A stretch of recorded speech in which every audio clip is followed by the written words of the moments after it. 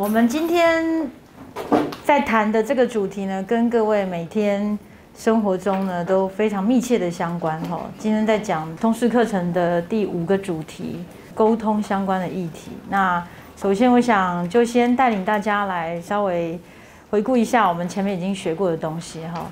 这几周以来，我想我们最主要呃采取的这个探索式的学习方式。到目前为止，看到同学们在讨论的面向，呃，跟你们的一些心得收获，我觉得都还蛮蛮广泛。看到大家的一些学习成效。那在今天之前，我想大家看到这个概念图里面，你们可以看到从一呃压力的主题到二心情温度计。那到三，大家学习了呃，在正念呼吸跟舒压的技巧，或者广义的来讲，就是一个压力管理的技巧。然后再到我们的四，好，就是上周，上周我们看了非常非常多的案例，那从案例去学习一些的自杀危险因子、保护因子这些的内容。那更重要，当然就是影响守门人态度的第一步，就是迷思。好，那所以相信大家在上周也呃有看到很多。课前的阅读，克服了一些有关自杀的迷思或者忧郁症的迷思。那到了本周，我想这个主题呢就比较务实。这个可能跟呃同学在一般生活当中，你们面对这些自杀高风险者的过程，最需要的一个技巧就是沟通技巧。所以我们今天谈的这个主题会是在守门人的，大家看到是在守门人的一个。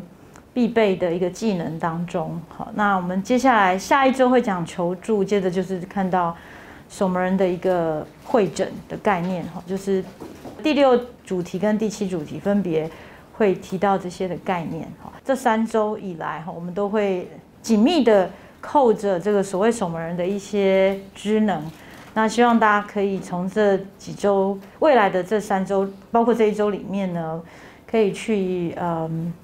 理解，然后甚至如果有机会的话，应用到这样的一个主题。那以往其实蛮多同学在修完课或者修课的过程当中，其实就会有一些有一些的机会，好，你们会去遇到一些所谓的自杀的意念者，或者是他可能是就是忧郁的同才，或者是你的亲朋好友，好，有这些的呃议题。那所以学习怎么样沟通，我想是。大家可以呃去练习的哈。那其实说实在，这个沟通是每个人每天都在做的事情。好，那只是很多同学可能会觉得说，我面对一个忧郁的同学，或者是一个他常常不来上课的同学，他可能在网络上就是有释放出一些比较忧郁的讯息。那我该怎么帮助他？哈，这个是可能大家共同的一个疑问。那所以我想，首先我们就来看一下一些情境，好，就是其实自杀的高风险者是以上周我们的一个呃呃这些范例来讲，它是存在不同的年龄层、不同的族群。那所以我们的沟通也是因应着不同的这些对象，我们可能要有学习一些技巧。那好消息是，其实沟通的技巧并没有那么困难，好，所以你们这一周的课前阅读，大家有没有读到什么叫以问代答？有的举手，有没有同学可以告诉我什么叫以问代答？这个以问代答的技巧是指什么？哈，其实在沟通的过程当中，呃，我刚刚提醒大家，它不困难，哈。那我们今天其实就是在等一下讨论课，大家会去探索有关沟通的一切一切的。过程啊，一切的一些细节技巧里面所讲求的一些内容。那如果说你们在呃我刚刚提的这个疑问代答这个技巧上比较不了解，那也是鼓励大家等一下可以同组再再来进行一些探索。那所以回到我们刚刚一开始讲到，其实沟通的情境是呃可能是你会遇到很多不同的情境。那以我这边要接下来讲的三个例子。你们就会了解到说，哎，其实当我会遇到这些高风险的对象，那我可能会需要有什么样的阴影？你们可以先思考一下。那后面有一些重点的提点，好。那首先我想，呃，看看这个二十岁的张同学，好，那他可能是你的同学，他可能是你的好朋友，或者是他只是一个很不熟的同学哈。那他目前的状况，课业啦、家庭还有感情，面对未来，他好像也非常困惑，然后他觉得不知道未来在哪里那种那那样的状态。场景是在宿舍，然后他来找你，好，那你发现他有一些的状况是你觉得他蛮多的所谓忧郁的表现，好，让你感受到，哎，他非常情绪的低潮，还有负向的能量好像蛮强的。那但是他看到你呃很忙，他可能就想要离开了。那这时候在这个情节之下，哈。那你你可以怎么样的去回应，或者你会怎么尝试的来做一个了解？好，这是第一个第一个场景。那年轻的场呃这个对象呢，跟中老年可能会有一些不一样，所以我们特地也让大家了解一下，就是中年的这个案例二。好，这是五十五岁的王先生，我们可以看到这个像是各位同学父职辈的这个对象，哈。在中年，那也面临了很多很多的经济上的问题，特别像 COVID-19，其实在这一年以来，有一些家庭的状况会因为经济的因素哈而变动很大。那我们看到说中年失业的情况，然后导致这样的一个个案，他开始用酒精处理他的就是失眠的问题。那他也有靠靠安眠药，但是也睡不好。那虽然这样的个案其实也蛮需要。一些的心理支持，所以他有一天呢打电话给你，好，那当然这个可能跟各位同学的关联性可能没有那么直接，你们可能没有这种中年失业的朋友，不过主要就是让你知道这样的案例，其实他也有可能是自杀的高风险，好，可能是哦，没有说一定是，但是以我们在自杀危险因子的观点来来看，好，这样的个案或许他有多重的危险因子在背后。所以，假使他是打电话给你，好，那但是他知道你在忙，好，他担心会影响你，所以他一急着就挂电话。可是你可以感受到说，哎，他最近似乎是很想要找你聊天，哈，那这时候在电话这一头，你可以有什么样的反应呢？好，这是第二个场景，好，那紧接着，我想在老年这个族群，它也是属于自杀的高风险群。那我想，这个各位同学应该平常比较少接触老年族群。不过大家要知道，在我们台湾，当然老年的呃自杀死亡人数是最高的。好，我想第一堂课大家有看到那个年龄的分布，大家知道说我们的自杀死亡率呢是随着年龄下降而死亡率就下降。好，那所以老年其实还是一个我们要特别关注的对象。那特别是如果它也涵盖有多重的一些危险因子，那以这个八十五岁的老太太来看呢，它涵盖了蛮多，包括疾病的因素，那包括呃家庭的支持，呃比较薄弱一点，那包括她的先生，哈，这个也有呃已经过世了哈，那先生过世之后，他的可能也曾经跟他有暗示过这样的一些自杀的念头。那他也有释放出一些所谓的警讯，那像这样的警讯，好，不晓得同学如果听到你会有什么反应？好，特别像呃有一些的自杀高风险群，他们会告诉你的警讯是比较暗示性的，比较间接的，比如说他会告诉你，我过一阵子我就不会再痛苦了，好，类似像这样子的，那，什么叫做我就不会再痛苦？暗示着他可能其实现在是处在极度的痛苦，好，那所以这一些的我们叫做警讯，或者是呃我们所了解到这一些的危险危险因子，我们其实在呃所谓的呃回应上面，好，这就需要有比较及时性的一个一个回应。那呃更重要的，我想是怎么样能够去有后续的，我们讲呃除了支持陪伴，然后主动的关怀，那可能到后面守门人，我们会在更完整的让大家知道说怎么样转介。但我们今天的课 focus 在所谓的沟通这这个呃技巧上面。我想一开始就是先让大家去反思一些重点哈，比如说同学可能会就会很好奇前面的三个案例，因为它是处在不同的年龄层，我们知道它个别有不同的一些呃。重点的危险因子，那他可能首先我们要去思考的就是你跟这一个个案，你对他的了解程度有多少？因为我们知道性健康的问题是有它的复杂性哈。比如说以青少年来讲，刚刚讲到这个张同学，他其实背后有很多我们看不到的一些危险因子。那有可能呢，这个张同学他自己虽然有感受到自己应该是处在忧郁的状态，可是他可能不会直接的陈述。那他表现出来的可能是非常的活泼、乐观、坚强等等，哈，这些属于比较正向的一面。所以面对这些复杂性，我想首先就是要考验你的同学有没有足够的敏感度。好，所以我想沟通其实第一步就是各位呃需要建立一定的一个敏感度，以及我们有一些的主动性，好，是你能够去鸡婆一点的去了解。了解你跨出去这第一步，去去关怀它的重要性好，所以所以首先第一第一个就是要注意它的复杂性，那建立我们的敏感度。那当然助人者对于这个自杀的呃知能是重要的，所以其实刚刚我们回顾了在概念图里面你们前面所学的，其实都是在为你们沟通来做铺路好。那所以今天我想就是认知的部分，我想是大家。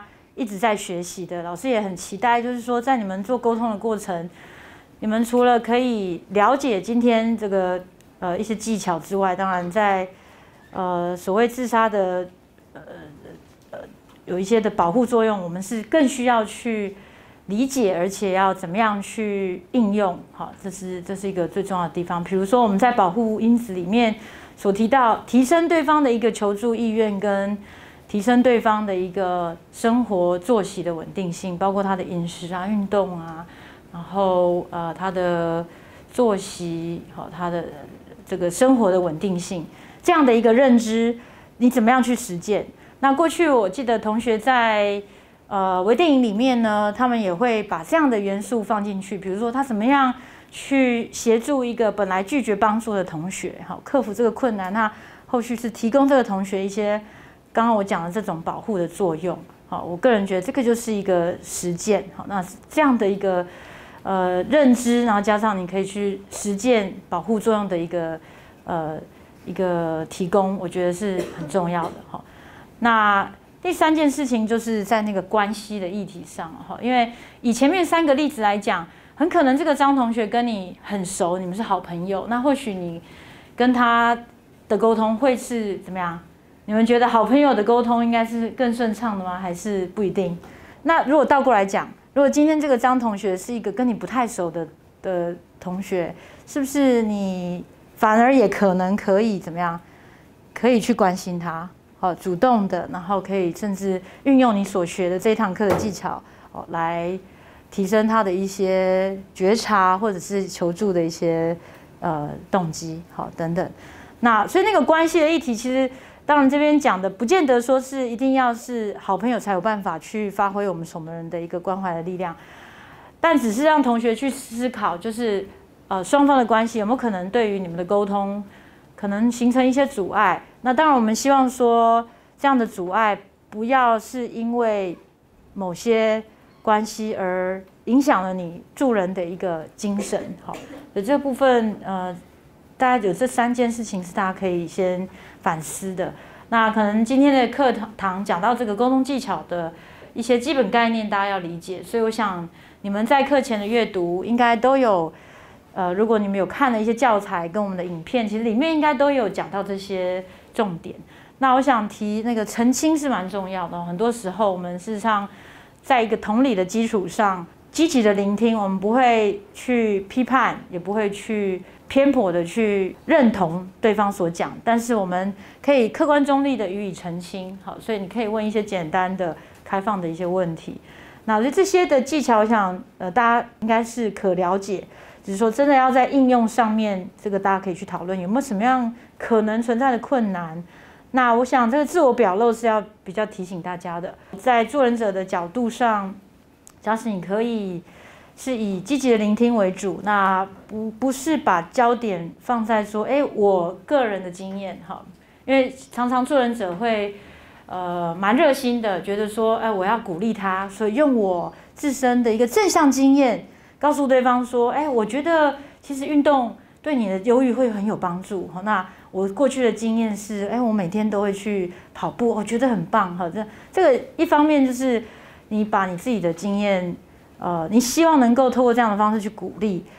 然而，可能对方是处在一个忧郁的一个一个状态之下，他这时候可能完全听不进去。好。那他同时也会觉得价值观跟你可能不是很相合，这时候可能会影响到你们彼此的信任度。我想这个部分是要特别提醒的，就是在那个呃自我揭露、自我表露这个部分呢，我们应该尽量是呃减少，尽量可以的话，就是说以聆听，那以帮助对方整理，你可以重述，你可以去厘清，可以问一些开放式的问题为主哈。那不要。反客为主了哈，最后变成说，哎，我们都在讲我们的事情了，这样子哈。那面值的技巧其实是蛮重要，大家应该在书面的教材有看到，这边我就不赘述，也是提醒大家，面值的技巧要要小心谨慎，因为有时候也会破坏彼此的一些呃信任度哈。特别你如果只是用一个比较是希望揠苗助长，或者是恨铁不成钢，然后希望就讲了很多。呃，比较 cynical 的一些评论，对，觉得对方，哎，你要好起来啊，哈，你不要，你你你你哭有什么用？哈，类似像这些的一个呃方式，可能就对你们之间的信任关系，可能也会有一些的影响。当然是在合适的时间我们可以使用了哈。所以再补充一下，就是那个所谓的面子，当然是在一一定的一个信任基础下，我们可以去采用那样的技巧，可以让对方有。呃，深一层的一个反思跟可能改变的一个动机哈。那所以在呃沟通的技巧，我们讲有效的沟通，当然你们一定会先有态度上的一个展现，让对方是可以感受得到你的真诚。那我们不是只是给予一些道德批判哈。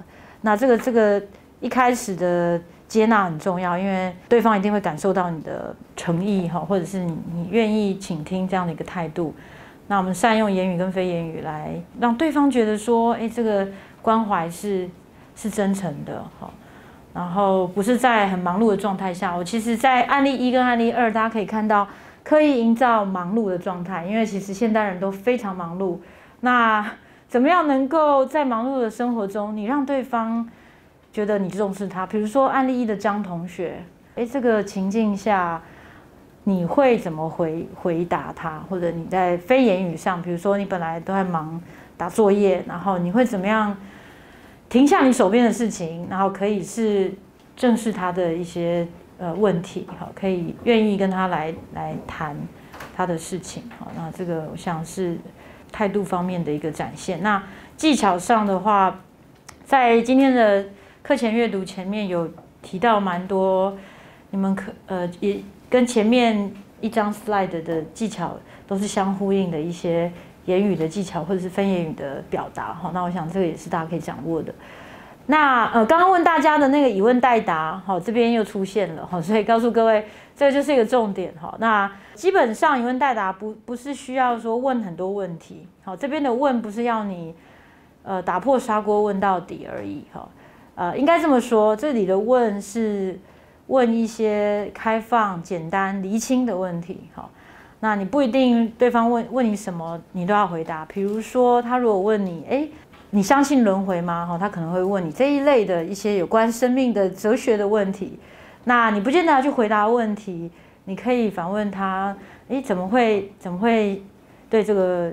呃，议题有有兴趣哈，或者是为为什么会突然问这个哈？那可能会再有其他的一些资讯提供给你哈。那所以不见得是有问必答哈。那以问代答，其实这边讲到有个最简单的方式，就是嗯哼，好这边嗯哼嗯哼，意思就是说，我想你们有如果有有有看的话，你知道它的重点，我想还是一个态度的展现哈。其实我们不需要有太多的言语回复哈。那同时也提醒大家，在沟通上，呃，心情温度计的重要性。好，那这个其实，在课前教材，你们有没有看？应该有看过哈。那呃，这个特别在这边提出来，是因为你们可以去讨论，或者是去探索一下，在这个过程当中，他特别把建议放在最后。好，那哎，大家觉得这个给建议是不是助人者常常会做的事情？你们可以去反思，因为其实大部分的助人者会觉得说，哎，他生活处在一个很困扰的状态，他的感情，他来问我感情的事，那我就告诉他说，你就不要理他就好啦。好啊，假使是这样的一个建议，是不是真的符合对方这个处境下他所需要的？你们要去思考，你有没有先让他有情绪上的一些宣泄？你有没有先去厘清他的问题点？那最后最后可能才是建议。所以这个是刚好跟同学们可能平常的做法是相反的。好，所以要提醒同学的就是过程中，我们除了提供他宣泄的机会，啊，给他一些心理的支持。心理的支持其实就是透过这前面两步骤所写的，包括倾听、称赞跟再保证。那什么叫再保证？如果这个情境是呃，这个求助者告诉你他觉得他的病不会好了，比如说医生帮我照了这个这个 CT，哈，就是影像影像医学的结果，医生告诉我现在还不能判断这个结果是什么。那你这个你这个同学听了非常担心，他觉得他的这个癌症一定不会好了，连医生都没有办法当下就告诉他说到底是怎么回事。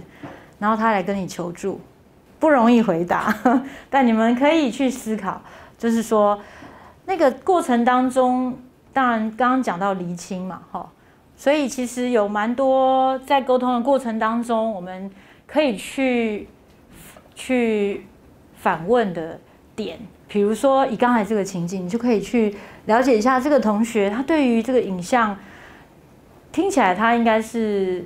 非常焦虑那个结果，而且他想到的可能是最坏的结果。好，有些人可能对于医生告诉他的呃内容，它的诠释是全然是负面的。那如果是这样的话，可能就确认一下，哎，医生是怎么告诉你的？哦那你觉得这这个代表什么意思？哦，那这个过程当中，哎，为什么你觉得是你得的就是就是末期的癌症？好，你可能可以有去。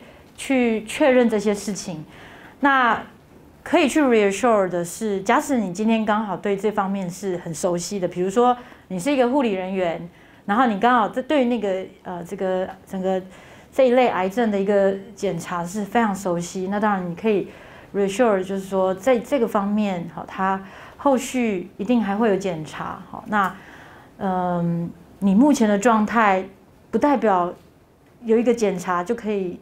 就可以确认说，哎，你就是最坏的这个末期的状况，哈。所以当然，reassurance 是是可能需要你的一些基本的知识来提供，但是基本的 reassurance 我想是可以告诉他，在在你厘清了之后呢，哈，你可以告诉他说，哎，所以听起来你其实是不确定这个状况的，好，啊，对方可能说，哎，也对啊，好，哎，那你为什么想到最糟的状况？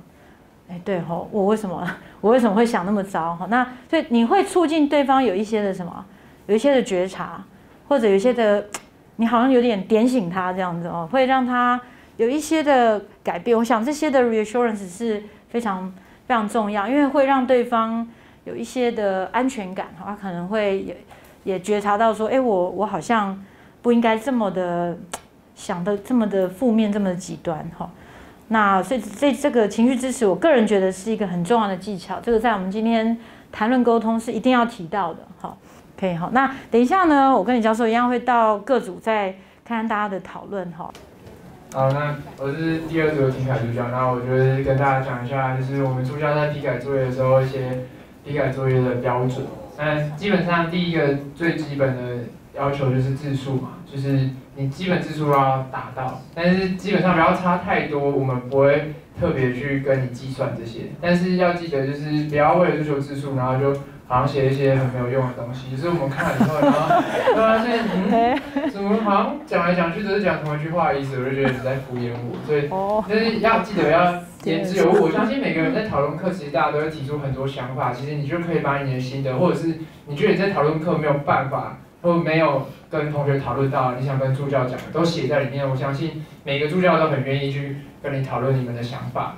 对，然后再来就是，呃，就是有的人，我觉得有些人做不错，就比如说他使用条列式的方式去整理，这样其实让我们在助教在批改的时候，我们可以快速的知道你们的重点是什么？因为不然的话，有的时候有些人标点符号运用，说实在不是到非常好。有的时候我们就要在那边判断这个断句到底是什么意思，为什么之类的。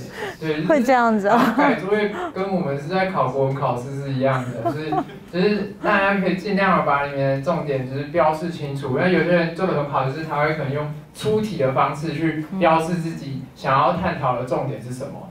对，然后我相信就是呃。基本上所有助教在搞完作业以后，都会给你们一些回馈。那你们如果对于助教回馈有任何想法的话，也欢迎继续就是留言给助教。我相信每个助教都很愿意跟你们沟通。对，那基本上就是我改作业的一些小提醒。对，好，谢谢听凯助教温馨的提醒。那我想作业确实呃有同学特别认真，他就是呃除了我想字数不是最主要的问题，而是内容哈，所以我常。跟助教有在讨论那个评分的一些呃一些原则。那我们在这个原则性的指引之下，我想是我们希望看到同学从讨论课有一些的收获。好，那以及你们对于这个呃讨论内容的一些回馈，比如说刚刚我想听海助教很棒的地方是，他也很乐于跟同学有一些的交流，所以你们的留言助教会回馈。那呃，很多的问题可能没有真正的解答，但是我我非常欢迎同学们就是提出这个疑问。我想很多事情是需要经过辩证之后，我们可以有一些的原则。那很多的议题，特别是伦理的情境，它没有真正的解答。但是在这个没有解答的状态下，我想至少大家透透过讨论，我们可以有更清楚的方向。那因为呃作业这部分，其实。老师会非常重视的原因是在于，因为在呃我们看到同学的收获，其实作业是一个直接的呃评分的评估的的一个媒介。那当然呃每一周我们也会看到同学在讨论课的的一些展现。希望到目前为止，就是呃大家的呃这个讨论课的形式哈，也就是我们透过同学的探索是。真正能够让你们有比较宽广的一个学习空间，而不是只是锁定在呃老师的课前阅读。那我觉得很棒的是，有些同学他甚至也会去看更广的东西。好像上周其实第一组的同学有一些的探索。那如果你们也可以把它写在这个心得里，那是更具体的东西。因为这个东西未来五年、十年，你们就是留着，未来一定都还是属于你们的东西。好。好，那心灵助教对于你们是第四组哈，有没有什么样的提醒？嗯，因为就是有些同学可能会再把老师上课讲的东西，或是讨论课一定要讨论过的东西，再重新叙述一次。然后这这也是很好的展现，但是就是因为那是我们的心得跟回馈嘛，就也会希望说在心得跟回馈里面看到多一点你自己的想法，或是想要补充或是交流的地方，就是。呃，还有像是我们不是有一些正念呼吸法，或是嗯哼嗯哼疑问代答法，这些都可以把它运用在你的生活中，或如果你有运用在你的生活中，那你的想法是什么，都可以把它就是分享出来。就是我我都蛮期待可以看到这些东西的。好，谢谢心婷助教。那所以我想这也是一个沟通了哈，就是老师希望让你们可以。呃，更清楚我们这堂课的游戏规则。然后，呃，以往我想同学在作业的部分应该都没有太大的问题，除非是常常缺交哈。那那是少数的同学，大部分的同学都表现得很好。好，那我想，呃，我的我的说明到这边。那看说李教授有没有什么提醒？我跟各位分享一下那个，不要看刚刚那个情绪支持。我想今天就叫沟通。就是为了要支持情绪，哦，那一个人要接受帮忙，你最基本的技巧要助人整个情绪的一个沟通跟支持，那很很抽象。我我相信你看那个《压力人生》里面，我有写了一个故事，有没有看到一个头痛二十头痛二十年的阿妈？有看过几首《压力人生》里面的例子？没有，那是很经典的一个歌，有没有？啊，好，我跟大家分享一下，大概三分钟后。对，话说三十年前，哈，我们同班同学一个妇产科的教授，哈，他有一天听我在跟医学系的学生演讲、上课，哦，那他刚好从旁边经过，他听到，哎呦，怎么听起来像李云斌的声音？出去给他坐在那边听一下。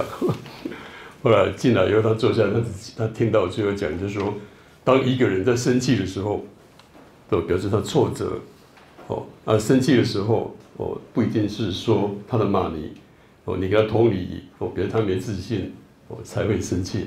那生气的话会怎么样？表示他自卑，表示他没安全感，哦，所以他容易心脏病，容易生病，哦，容易头痛。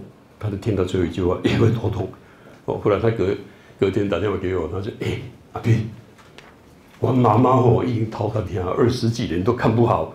我明天带来给他，你要偷问看看好不好？我问你就问他就好了。都我也不晓得要怎么问，我妈妈很威严。我说好，你就带来。我叫他进来我办公室，以后他一坐下来，我说啊，我李冰冰啊，结果他妈妈讲什么？光把你啦，我叫弄光鬼啦，不好啦。第一打招呼讲无效，我我不跟你讲，现在讲无效。啊！你是叫我来看头壳听，我我我不讲话啊，是你儿子让我给你了解一下。我问你是什么问题没笑？头痛。哦，那怎么会没笑？他第二句话讲什么？啊，就是气出来，生气气出来的。我说嗯哼。我所以刚刚同学提到，刚刚身体有讲，我开始我们的对话，门诊的对话就是这样。我我是原原本把它敲过来。我说嗯哼。啊，你气上，是我媳妇，我媳妇怎么样？啊，我说嗯。他唉声叹气的嗯。啊，关新妇哦，嫁了二十几年了哦，她家里是很有钱哦。啊，但是呢，我当时怎么了？来都不做家事，嗯哼，都是我儿子哦，我儿子还要当教授，还要擦地，我说嗯哼，还要买菜哦，还要擦马桶，嗯哼，所以啊，我都气在心里，但是我也不能骂他哦，我说为什么？那个对我真好啊。哦，过年过节都有钱给我啊！哦，那后来讲说，所所以怎样就提出来？是啊，哦好啊，啊所以经过我你讲，我说为什么要讲吴老师谈的那个哦？好，听完了要什么？要想办法给他称赞。我说我想你实在不简单的，你头痛忍了二十年呢，我都我笑出来了。他说哦，你不知道我足痛苦的，我这真要称赞我表达说。以刻苦耐劳忍二十年，哦，然后哦，这个鼓励，哎，在气了这头壳皮拢硬，啊，就是安尼啊，我规讲倒地面床我都没当背起来啊，讲啊，所以明仔载开始爱台大医院边啊，或新公园要去运动，哎，我都不太不运动，我就是因为你没运动，所以没有力气，啊，这叫什么？encouragement 哦，啊，再来，啊，好，啊，我讲公告家，你知影好，你开始运动哦，就他要走之前站起来坐下来，哎，你就说，啊，你若无开药啊？讲啊，敢是你的药啊，一堆啊，哇，对啊，阮兜的药啊，哦，贵妇车，哦，因为到处到处小病看都不会好，贵妇车，讲啊对啊，哦，所以你就不用吃药，靠运动会好。啊，这句话叫什么？叫 reassure。所以，我女同学跟你讲很多抱怨的话，哦，他很难过，你你要保证不是保证他会好，就啊，听起来蛮难过。是啊，你如果同意的话，哦，你相信我，我一定会陪着你。哦，这叫 reassure。哦，当一个人在痛苦的话，是怕 lack of connection，怕没有人理他。如果他得到这句话，说不管你怎么样，我一定会陪你。哦，你不是医生，但是他啊安乐，哦我是这个的女婿吧？哦，所以你要听到后面的话。就我们那那个同学的妈妈，那俺们就跑到新公园运动。第一天到新公园运动，就碰到一个老太太来，哦，跟他一直甩手。他就问他，哟，那个新来的，他问那个我们的那个妈妈，啊，你哪来？因为啊。啊，我大概听啦吼，听二十年啊。哦，啊，李教授叫我来，他一边甩手，啊，那个太太跟他讲，哎，不好，阿贤啊，我开始嘛偷看听啊。你看我这么精神真好。呃，我们那个同学嘛就好奇问他，啊，你现在给他偷看听？啊，他是讲了，啊，你讲我紧啊，我就等，他就用我那一招去让对方 emotional support 哦。那老太太就跟他讲，啊，你气完新妇啦。他一听，天下乌鸦一般飞，我也在气他媳妇。他问他，啊，你新妇闲啊？哦，我媳妇我做笨蛋，不会说头亏啊！他一听哦，我这个同理啊，我我媳妇嘛是安尼的。哦，那问他，我跟你跟我想象中，对吧？他说什么？最严重，他我媳妇哦，更严重是我儿子那天拿十块钱给我坐公车，哎，我要回去。哦，他一定说，哎呦，怎么天下有哦有这么这么难产的媳妇？那后来，那太太就问他，我想啊，恁新妇遐分担，啊，因兜敢有钱，啊，都真侪钱啊！啊，过年敢有包红包？有啊！啊，上个月包红包就包包五万块花，才订了五万块，那个我上个就把他抱住了。哎呦，我上个你讲哦，提着灯笼无处找哦，你这个媳妇真棒！哦，他本来很气，而且在换气的时候一边甩手，回到家七点，看到他媳妇满面春风。哦，没有叫苦连天，一直躺在床上都哭三年。我后来媳妇隔天打电话给我，对，阿平，阿小文婆，我婆婆吃什么药啊？我阿贤啊，哟，我嫁给他二十年，从来没看到笑过。我看过你以后，早上起来运动回来又满面春风。我不好意思跟他讲说，他的新工人已经门第了选了，已经把你骂得狗血淋头。但我不是说要骂，要要让那个鼓励他骂人家。我的意思说，当你。讲对话同理的时候，你可以符合刚吴吴老师提到，我先洗耳恭听，聆听，让他讲出他的不舒服，不是抱怨，啊，最后再给他鼓励哦，称赞，称赞他很坚强，二十年没倒下来哦，啊，给他保证，免加油啊，因为他吃药吃二十年没效啊，哇，但是要做什么？要运动，我所以看起来那个跟吴老师提这几个重要因素，就是今天你在沟通里面最终的目标，干嘛要沟通？沟通是为了透过聆听、收集资讯，进一步同理他，我，做转介也好，哦，或者陪伴哦。所以大家简单就跟各位分享哦。所以不要以为说简单的几个三部曲，实际上在临床应用，你很简单的时间里面，可以表达你的关怀。哦，是单单善用哦，刚刚吴老师提的哦，嗯哼，哦哦，那个语助词哦，如果沟通里面都没有讲这句话，那表示你浪费很多时间跟生命哦。所以两两眼要哦仔细哦，要躺慎，但最重要的就是肢体语言哦。最后一句话，要先放松再沟通。另外一个永远要记得哦，沟通之所以有效，他会听你的话，不是你讲的哦，天花乱坠，不是。而是你的表情、你的姿态、你的眼神，让他觉得这个人跟我讲话很关心我。我说永远要记得，沟通有效百分之七十是来自于非语言，是来自于姿态，哦，来自于哦你的肢体语言。那请同学。等一下，在沟通的时候善用，不过不太容易啊，因为那么多人，你会讲，嗯哦，你当时学过，他就觉得好笑。我说今天例外哦，因为你表演不佳的话，同学不要互相取笑，好不好？因为你们知道秘密。就是真诚的练习。好了，OK，好，仅此补充，谢谢。谢谢李教授的那个经典的例子哈。对，其实，在书里面。呃，大家如果真的有仔细的阅读，其实有非常多这些重点。那我想把刚才那个那个呃老太太的故事，把它变成是同才的话，同学应该可以再来反思一下，就这个情绪支持的技巧，我们怎么样去称赞同学，然后怎么样去跟同让同学有一个 ventilation 的机会，就是情绪宣泄啊，或者 catharsis，就在专业上面。好像少一个鼓励哈，就是称赞、鼓励跟再保证，然后这个是呃后来改版，好像我们有加一个鼓励这个部分。所以我想情境，因为现在呃因应这个同才之间，我们青少年的这个心理健康的议题其实是非常非常重要，然后也非常期待同学今天的讨论，可以从你们身边的这些族群的情境开始讨论。那我们提供了三个案例，那如果同学也有其他的呃。问题或者是其他的案例也可以再加进来，好，那呃我们的说明就先到这边，呃是不是我们就提早让大家可以先到各教室去准备，好，谢谢大家。